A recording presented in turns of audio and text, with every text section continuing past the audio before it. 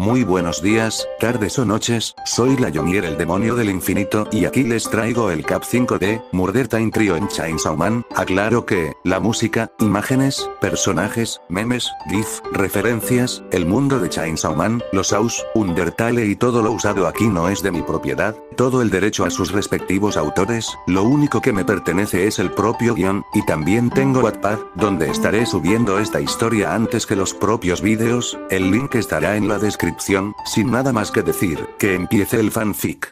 Fue un gusto haber charlado contigo, esqueleto, tal vez nos volvamos a ver, diría un señor con cabello de color grea y una cicatriz en su boca que va desde el labio hasta la derecha, era conocido como Kishibe y él mismo desaparecía del lugar, dejando a nuestro esqueleto con un hueco en la cabeza totalmente solo.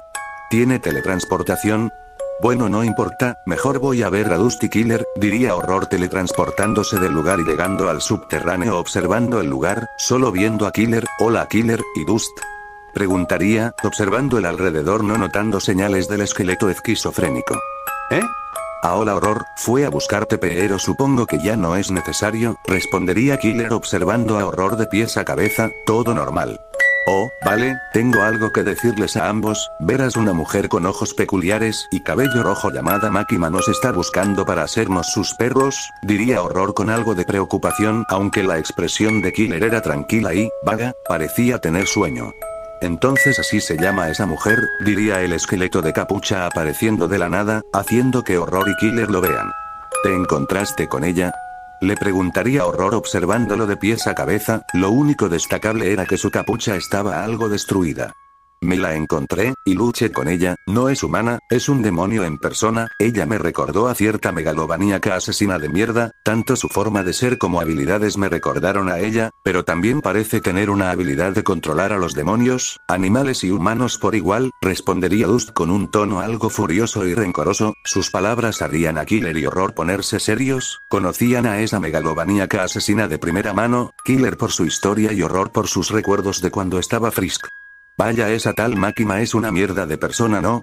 Preguntaría Killer con su sonrisa ampliándose un poco, ya sabía a quién matar uno de estos días. Dust solo asentiría por las palabras de Killer para luego ver a Horror, ¿tienes algo más que contarnos? Le preguntaría Dust con una expresión algo cansada y rencorosa, realmente recordar a Chara lo desestabilizaba, y posiblemente quiera matar a alguien dentro de un rato. Sí, me encontré a un viejo llamado Kishibe que me dijo un poco sobre Makima, dijo que dentro de unas semanas o un mes, atacaría a Makima y probaría matarla, luego me dijo que quería nuestra ayuda para eso, respondería Horror guardando su hacha y sentándose, Killer y Dust escuchaban con atención a Horror, sus expresiones seguían iguales, hasta que dijo lo de matar a Makima, lo cual sacó una pequeña sonrisa en Dust. O sea que quiere nuestra ayuda para matar a esa mujer.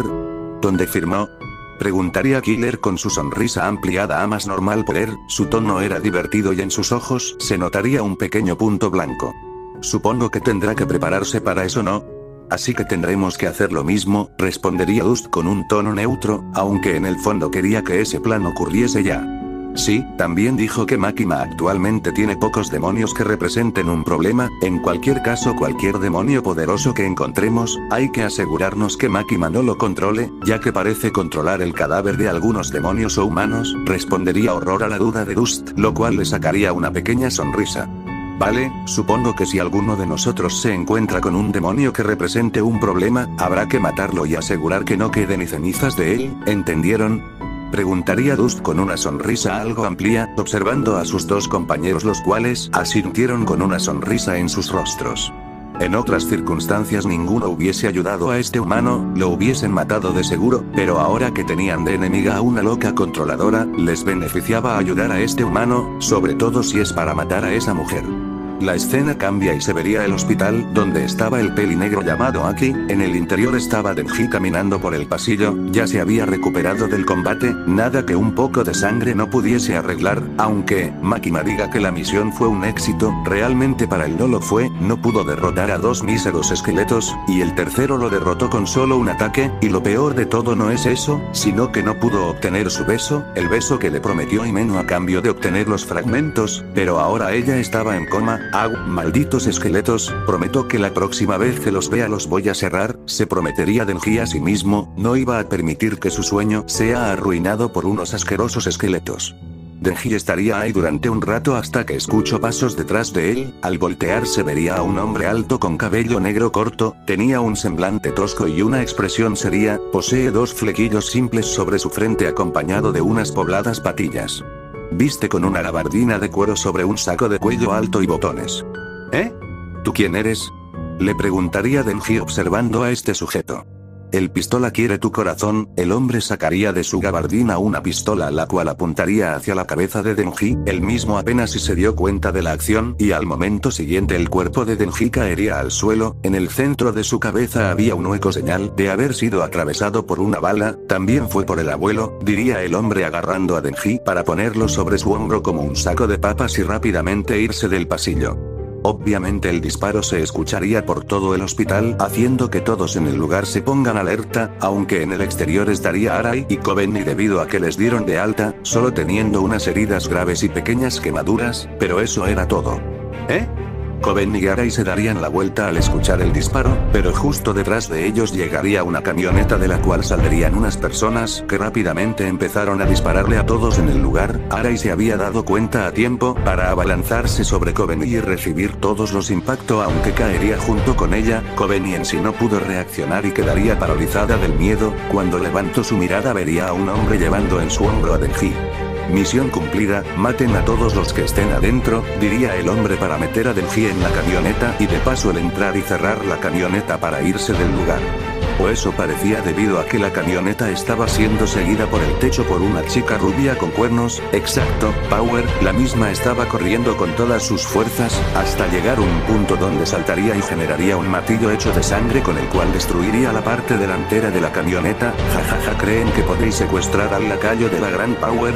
lo siento pero aún necesito a este bellaco así que os mataré. Power diría todo esto con una sonrisa sanguinaria, el conductor de la camioneta había muerto, Power iría a la puerta de la camioneta para poner su mano sobre la misma pero su mano sería atravesada por una espada, ¡qué mierda!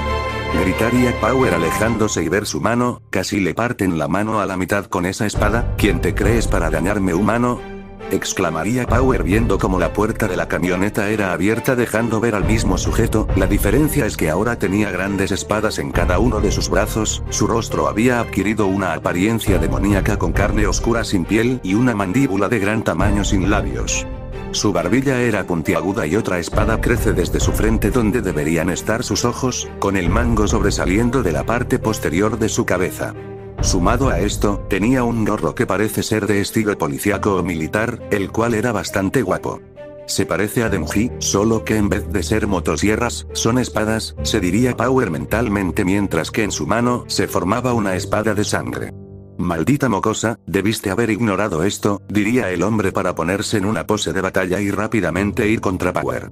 Que Mier, Power usaría su espada para bloquear el ataque, aunque al bloquearlo salió volando, y estrellándose contra una pared.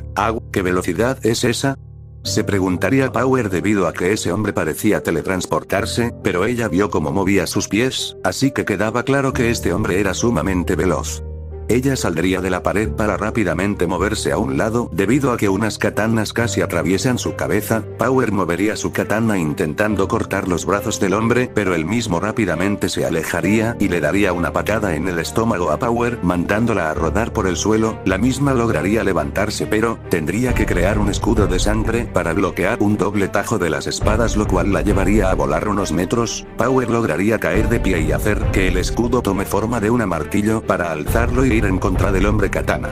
Imbécil, es todo lo que diría el hombre para ir en contra de Power, la misma bajaría su martillo intentando aplastar al hombre, pero él, esquivaría el ataque haciéndose a un lado para cortar a Power, casi partiéndola a la mitad, debido que el corte fue desde su ombligo hasta la derecha. Au, Power se agarraría la herida y se alejaría del hombre, él mismo se le notaba tranquilo, o bueno así estaba en su forma de actuar. El hombre se agacharía para poner sus katanas en su lado izquierdo, la acción dejaría extrañada a Power, pero lo único que vio fue al hombre desaparecer de su lugar, para luego sentir como su pecho era cortado junto a sus brazos, esto haría a Power caer arrodillada, cuando vio hacia atrás, vería al mismo hombre de pie dándose la vuelta para verla. Cuando el hombre dio un paso sintió como su pie era atravesado, cuando vio hacia abajo, estaban unos huesos atravesándole el pie y parte de la pierna, ¿eh? Se preguntaría el hombre pero el y Power verían hacia arriba, debido a que el lugar se había iluminado de repente, lo que vieron fueron un montón de cabezas esqueléticas las cuales dispararon una ráfaga de energía que les daría a ambos y destruiría parte del lugar, en un lado de la calle estaba nuestro esqueleto con su símbolo en el pecho, llamado Killer, con que de aquí venía el escándalo, y no me invitaron a hacer este desmadre, diría Killer con su sonrisa para ver cómo el hombre katana se levantaba, parte de su ropa estaba destruida y habían unas pequeñas quemaduras, vaya que resistencia, aunque parece que tu cara dice lo contrario, diría Killer entre una pequeña risa, debido a que de la boca del hombre saldría un poco de sangre. Maldito esqueleto, no vas a salir vivo, diría el hombre para agacharse tomando la misma postura con la que atacó a Power, para luego desaparecer pero cuando volvió a aparecer no vería a Killer en el lugar, tampoco en el alrededor, aunque sentiría un dolor en su espalda y lo que vería sería a Killer dándole un corte con su cuchillo, ¿qué? ¿Cómo? El hombre se daría la vuelta dando un tajo, pero Killer desaparecería del lugar para el hombre ser atravesado por huesos. Au, el hombre soltaría un gruñido de dolor y de molestia para ver como una cabeza de dragón soltaba un rayo dándole de lleno y mandándolo contra una pared. Si dejo que me golpee posiblemente será mi muerte, así que prefiero mantenerlo a distancia y limitar sus movimientos, pensaría Killer observando cómo el hombre se levantaba para observarlo con ira, tendré que usar los ataques al alma, se diría Killer para alzar su mano, y el hombre ser cubierto de un aura azul, Killer movería su mano a múltiples direcciones para el hombre salir volando y estampándose con todo el alrededor, contando que a veces era atravesado por huesos, hasta que el hombre caería en el suelo totalmente inmóvil, no te hagas el muerto, le diría Killer para ver cómo el hombre se levantaba, tenía sus heridas pero seguía vivo, supongo que ese demonio tuyo es lo que te permite seguir con vida, pero llegará un punto donde vas a morir, Killer diría esto con una sonrisa para sacar rápidamente su cuchillo y bloquear un tajo de la katana del hombre, la fuerza empleada había hecho a Killer volar varios metros, aunque se recompondría con algo de problemas. Killer levantaría su vista, en su expresión estaba clara la sorpresa, rápidamente levantaría su mano y varios huesos irían en contra del hombre katana, pero él mismo iría a una velocidad abrumadora contra Killer, fácilmente destruía los huesos y esquivaba algunos sorpresa, maldición, susurraría Killer para que aparezcan algunos Gaster Blaster y disparasen al hombre katana, pero este esquivaría algunos disparos y otros lo rozarían, para llegar con Killer y lanzar varios cortes en contra de Killer, él mismo bloquearía y esquivaría varios de esos cortes, aunque poco a poco perdía terreno, debido a la superioridad física que tenía el hombre katana, maldición a este ritmo voy a perder, pensaría Killer bastante nervioso, porque apenas podía bloquear los ataques del katana con sus cuchillos, contando que con cada corte los cuchillos se iban partiendo y Killer daba pasos hacia atrás. Killer se teletransportaría hacia atrás para que debajo del hombre katana salgan huesos pero él mismo saltaría esquivando el ataque, mientras daba un giro en el aire, haciendo un corte cuando cayó casi encima de Killer, pero él mismo bloquearía el ataque con unos huesos los cuales serían cortados por las katanas y de esa forma caer de pie. Ambos se verían detenidamente, no se movían de su lugar, casi como si esperasen el movimiento del otro, todo esto mientras pasaba un aire de pelea, aunque también en la distancia se escuchaban ruidos de disparos, pero eso era en el hospital. Dentro del hospital. Estaban aquí y Coven y matando a los últimos hombres que venían a matar a todos, realmente Aki se sorprendió por la agilidad de Coveni, y Coveni pues, estaba normal, por suerte algunos médicos pusieron a salvo a los pacientes, y algunos vinieron rápido a ayudar, debido a que Aki había recibido dos disparos, en el hombro derecho y la pierna izquierda, por eso lo atendieron rápido. Mientras que en el subterráneo, estaba Horror y Dust observando una televisión recién roba, digo digo, prestada. ¿Cuánto crees que tarde Killer en regresar? Le preguntaría Horror a Dust el cual estaba pues dormido, o, tan rápido se durmió. Se preguntaría Horror viendo a Dust, aunque no pudo seguir viéndolo debido a que sentiría un pequeño temblor, ¿un temblor? Se preguntaría Horror mientras la escena cambiaba. Un minuto antes. Estaba un lugar tranquilo de la ciudad, aunque se escucharían unos pequeños choques, luego de unos segundos de esos choques se vería a Killer y el hombre katana salir de una pared, ambos moviéndose a extrema velocidad, bloqueando y atacando al otro, incluso Killer tenía un cuchillo de color rojo que empezaba a destruir las katanas lentamente del hombre katana, aunque la superioridad física estaba del lado del hombre katana, estuvieron así durante un rato hasta que del cuchillo rojo saldría un corte el cual mandaría al katana contra la pared de un edificio, para cuando intentase salir, ser golpeado por un Gaster Blaster el cual se quedaría en la pared, y de su boca saldría la ráfaga de energía la cual haría que el edificio se derrumbase encima del hombre katana, de esa forma causando un temblor en el lugar. De unos escombros saldría el katana, aunque se notaba bastante herido, gran parte de su ropa estaba rasgada y apenas si podía mantenerse de pie, admito que eres peligroso, así que tendré que deshacerme de tu cadáver, diría Killer, teniendo su sonrisa para levantar su cuchillo rojo y daría un corte en el aire el cual cortaría la cabeza del katana, así esté cayendo en el suelo. Luego de eso una de corazón saldría del cuerpo inerte del hombre katana, para luego varios Gaster Blasters aparecer y soltar una ráfaga de energía que destruiría tanto el corazón como el cuerpo, me deshice del cuerpo y el alma, aunque solo fue el alma del humano, parece que el propio demonio desapareció del lugar, mmmmm bueno no importa, se diría Killer a sí mismo para guardar el cuchillo rojo en su círculo del pecho, para luego desaparecer del lugar. El lugar entero había quedado destrozado, mientras que por la camioneta, estaba Denji aún muerto, pero se estaba acercando cierta chica rubia con cuernos, Power había sobrevivido al ataque aunque no en buenas condiciones, a su descripción, todo el cuerpo le dolía, apenas y podía moverse, pero con mucho esfuerzo llegó con Denji, para luego levantar su mano y jalar el cordón, esto haría que Denji se moviese para luego levantarse, au, mi cabeza, ¿qué pasó? Se preguntaría Denji observando el alrededor, aunque rápidamente notaría a Power la cual no estaba en las mejores condiciones, más bien parecía estar al borde de quedar inconsciente, Power,